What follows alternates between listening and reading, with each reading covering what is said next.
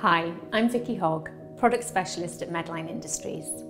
I'm going to be introducing you to our new pressure monitor device called Compass Universal, which has been specifically designed to assist in the early and accurate diagnosis of compartment pressure.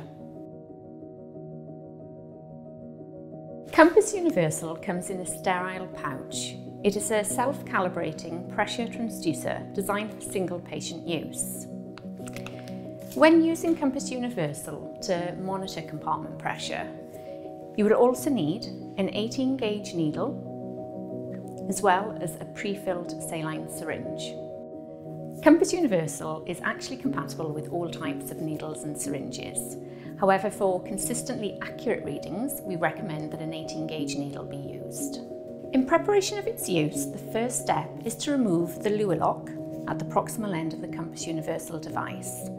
Once this has been done, then attach the 18 gauge needle to the distal end, ensuring that it's securely in place.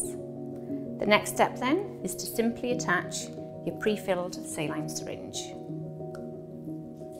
Before turning the device on, flush Compass Universal with 1 ml of saline solution. This is just to ensure that any air within the chamber of the device is actually cleared out.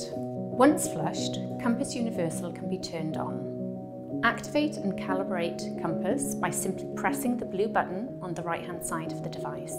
Hold for one second until 00 millimeters of mercury appears on the LCD screen.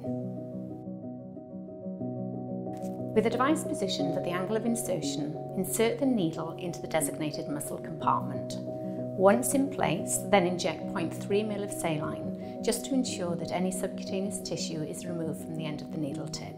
The pressure reading will then be displayed on the screen instantaneously. As you can see, Compass Universal is a small compact device, ready at hand, easy to use in time-sensitive situations.